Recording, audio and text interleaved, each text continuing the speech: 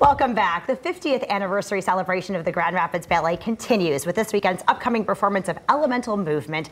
We have a special preview this morning. We've got artistic director James Sofranko with us and dancers Adriana and Nathan. Thank you all so much for being here, James.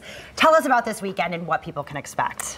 Well, this is a fantastic program. It's opening our 22-23 season. It's our 50th anniversary, so we've been doing a lot of celebrations this year. And this program has uh, three ballets in it, so it shows a wide range of styles and what we do here at Grand Rapids Ballet, from classical dance to contemporary to everything in between, which is a little bit of what you're going to see today. So yeah. there's three ballets in one show. Okay, perfect. And and so if people are interested in catching a show, you do have tickets still available, and then you also have a free show, correct?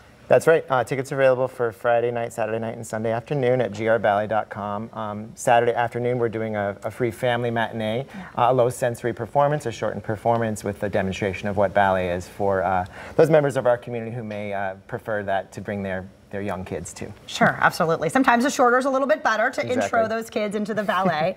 uh, and tell us why this is, you know, you, you are coming off of your 50th anniversary. Why is this show special to you? Why is moving into the next year so important?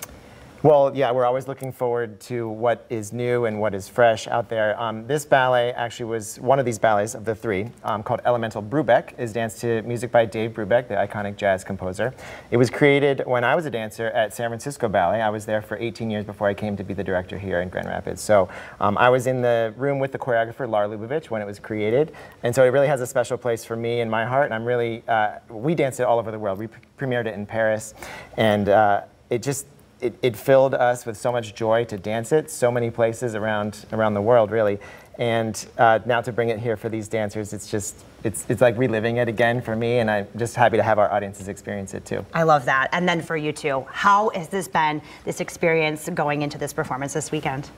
Um, well, we were talking in the, in the waiting room earlier, and this ballet has definitely become one of my top three per performances of all time. It's um, like James said, it's just got so much joy in it. The music is beautiful, the movement is fun, and sort of low stress. I mean, there's a mixture of smooth and sharp and jazzy, um, and big and small. So it's it's a lot a lot of fun to perform. And a little bit different than what people might anticipate coming into a ballet. It is not a classical ballet. So tell us, you know, obviously you're going to do it in just a second for us, but what do you like about this style of dance? I think with this show this weekend, we have such a diverse range of movement within all three of the pieces, and this one is just so fun while still being so intense and so physical. And so you really get to find your groove and find the balance of um, really like keeping with all of the movement and the integrity and the sharpness while still just having so much fun and trying to connect with the audience and bring them into the fun that we're having as well. Wonderful. And we want to see how much fun you're having. So we are going to get out of the way and we're going to let you show us what you're doing, okay? okay? Thank you both. And James, thank you. Okay.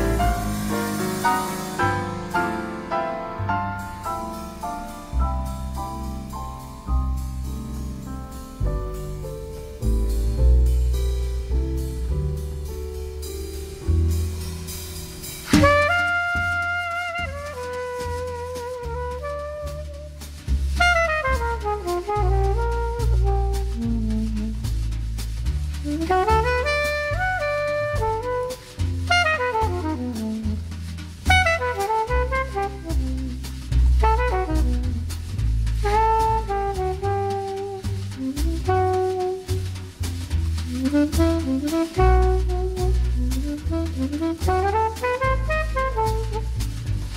you.